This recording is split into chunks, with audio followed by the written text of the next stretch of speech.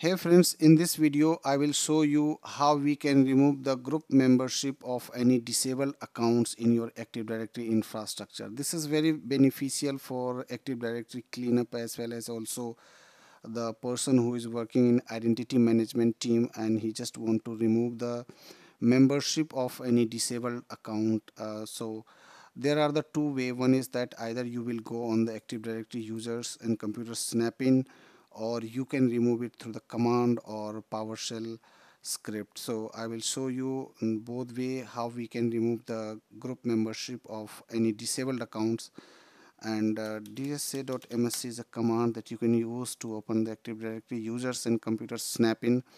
Here I can see there are the two users are showing inside the sales OU and uh, these all users having some group membership like uh, sales RW and domain users.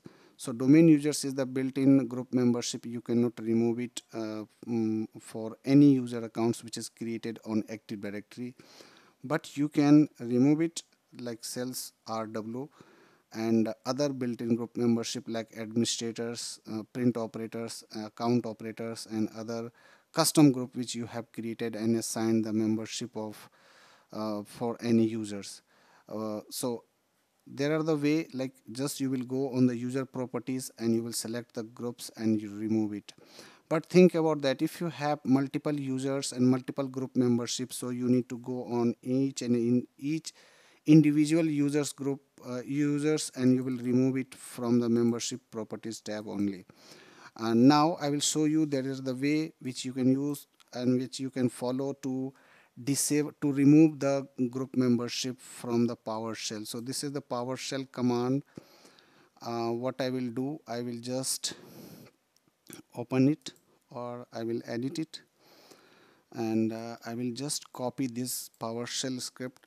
So you need to run this PowerShell script as an administrator. So I'm just copying this and I will open the PowerShell with run as administrator command this is my PowerShell script and run as administrator. Here I will just paste this PowerShell script and I will just explain the detail in the details. So this is the import dash module active directory. This is a uh, active directory module command. You are just uh, importing the active directory. Now I just created a variable that is users and uh, we are just collecting the domain informations. We are just uh, specifying this that to search the users from this base DN this is the base DN of my active directory. So when you are executing this PowerShell script so you need to change your base domain uh, as what you have configured in your infrastructure. So this is the base domain. You will just go on the domain and uh, need to enable the advanced feature. Now you will go on the properties and here you can search your base DN and this is my distinguished name. I just copied this and uh, I just edited dc equal to info alias and dc equal to local. So I just divided into two part and uh, now I'm just using a for each loop and in, in this uh, for each loop I'm just calling a user variable again and uh, putting the value of uh, users in uh, users.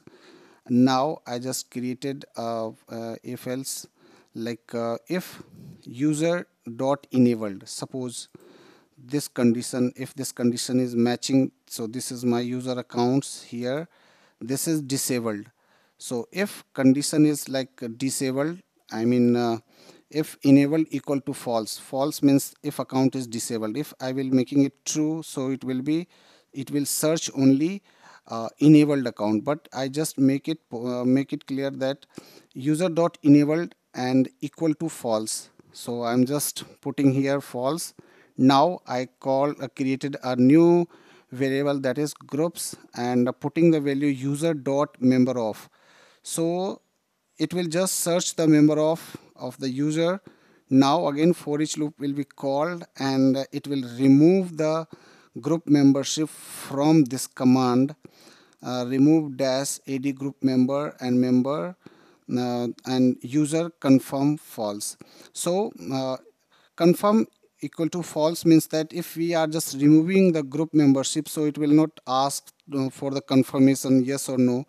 Uh, it will just remove it but if you are just making it true so it will ask to uh, ask before removing the group membership of each and every users uh, or every group membership. So I always recommend you to just go through and check that uh, if you are creating the uh, script so you may you should make it false. So it will remove the group membership over here.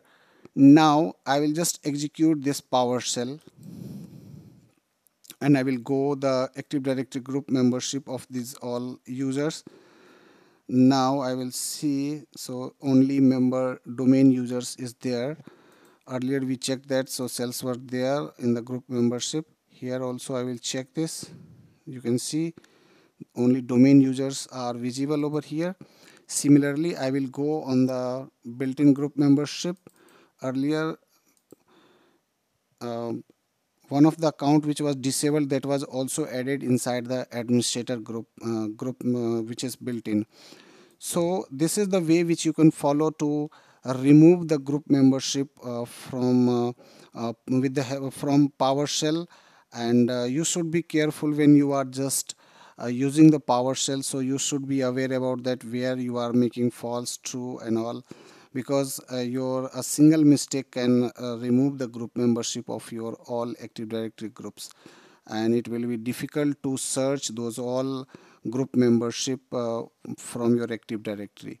So this is the way which you need to just follow to removing the group membership. Thank you for watching this video